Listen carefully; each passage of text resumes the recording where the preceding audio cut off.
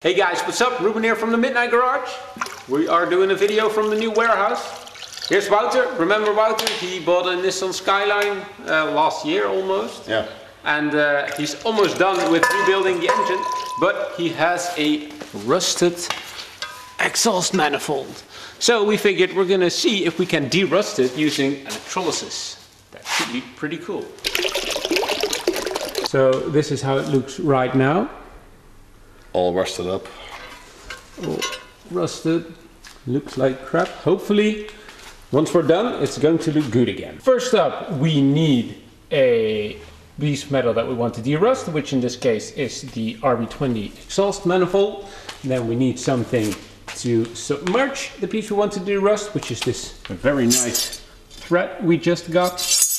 Then next up, we need some scrap metal. We will show you why later. We also need either a battery or a battery charger. We're going to use a battery charger. Then we need some washing soda. Now I've heard from someone very reliable that we cannot use baking soda, so we need to use washing soda.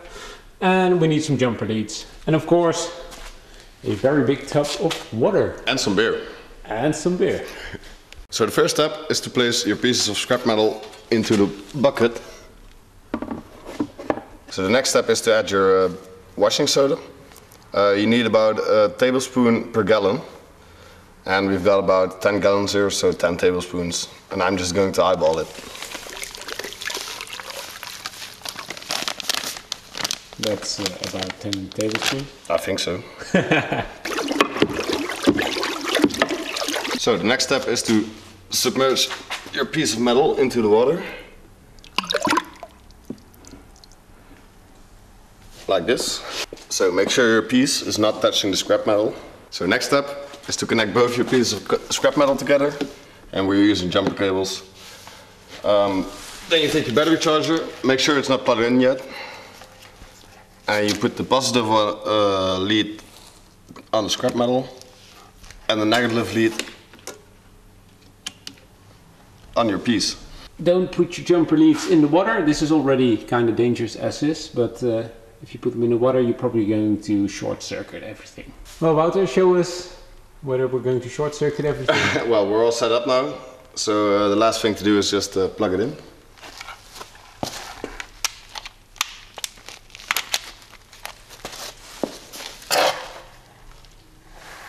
Let's see if it's charging.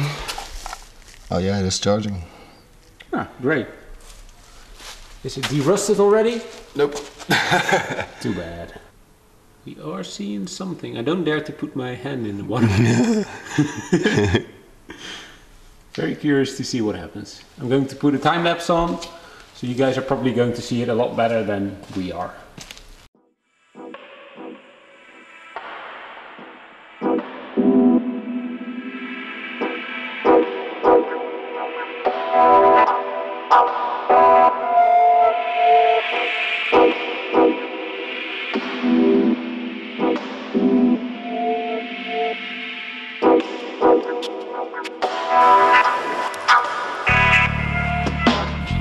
So we just uh, disconnected the power and uh, we're going to see uh, what is done. I'm very curious to see how it looks so far. It's been two hours roughly.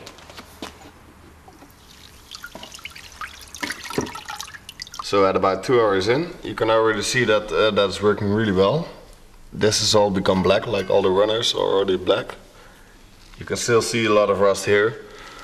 Um, but now after two hours in, we're just going to uh, go over it with a with a brass brush, and then uh, put it back in for a few hours, and then see what happens.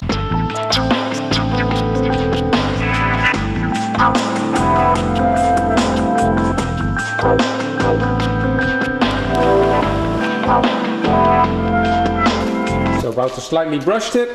Now we're going to put it back and we are just going to leave this for the rest of the night. So we've been doing nothing for the last few hours because we don't need to do anything. And now we are just going to leave and we're going to check back tomorrow because probably tomorrow it will be done. Day two. So it's the next day. It looks horrible, but uh, Wouter's going to come over any minute now. We're going to take it out and we're going to see if it's been derusted. But by the looks of it, It probably is.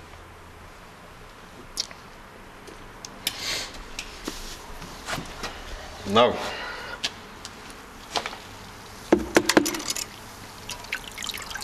That's pretty good.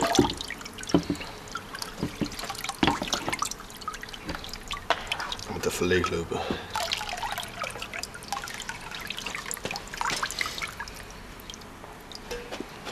Very nice. So this is why you need the donor material, because you're gonna eat that up. But this one actually looks pretty damn good. Playboy.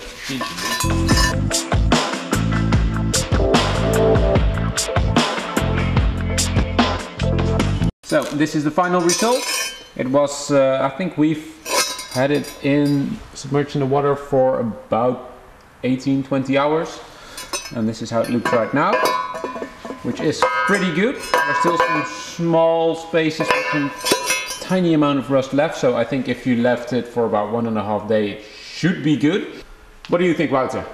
I think it looks very good. Yeah. Perfect do it yourself. So what's the final verdict? Well, the bucket we had that laying around, so that didn't cost us any money. The battery charger we had that laying around as well, that didn't cost us any money as well. The only thing that did cost us any money, that was the power, the water, and the soda. And I think combined it's less than one dollar, so that's pretty great. Uh, if you were to buy everything, you probably spend around 40 or 50 bucks for everything. So it's still not very expensive. And as for the amount of work, well, we spent about five minutes setting everything up and then we went on to do different stuff. So it's not only, in my opinion, one of the most effective ways to de-rust an item, it's also one of the least labor intensive ones. So big thumbs up for me. Now, the only thing that sucks is that I can't really throw a whole chassis in a bucket and de-rust that this way because that would have been awesome. But yeah, anyways, that's it for today. I hope you guys liked it. Leave a like if you did and hit subscribe button if you want to see more videos like this. And then hopefully we'll see you guys in the next one. Bye.